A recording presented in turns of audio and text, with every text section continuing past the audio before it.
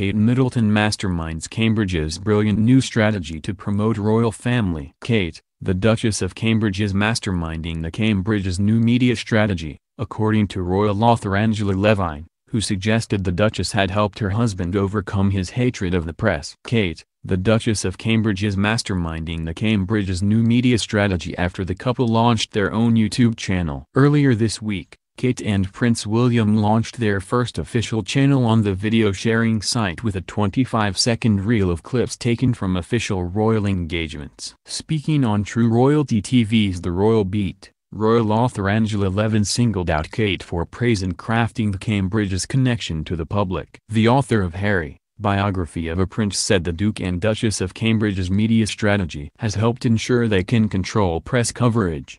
The royal expert said that Kate was behind the move to give the press a little in the hope they are left in peace. Ms. Levin explained, I think it's brilliant because, as we know, Prince William hated the press, based on how he believed they treated his mother. I think Catherine has helped him over that by learning how to take photographs herself putting the children out there clapping for the nurses and frontliners.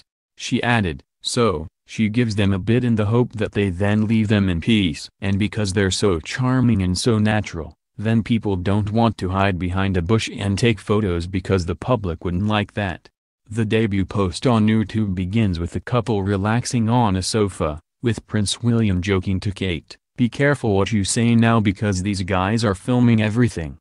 The YouTube launch video also shows previous engagements including Kate shearing sheep during a visit to a Lake District farm and William sitting with Sir David at Attenborough to promote his Earthshot prize. In one included clip, an outtake from this year's St. Patrick's Day video, Kate tells William, you don't need to roll your R's. Within 24 hours of the channel's launch, the couple posted a new video of a call Kate made to a four-year-old leukemia patient Mila Sneddon who was part of the Duchess's Hold Still photography project. The project, which includes photographs taken during Britain's pandemic lockdown, has also been turned into a book that will be released on Friday. The Cambridges already use Twitter and Instagram to promote their work. It marks a busy week for the Cambridges, who released a new picture of Princess Charlotte to mark her sixth birthday on Sunday. Last week, the couple also marked their 10th marriage anniversary with a professionally shot video of the family at their Norfolk home and on sand dunes. The couple has also changed their Instagram handle from Kensington Royal to Duke and Duchess of Cambridge.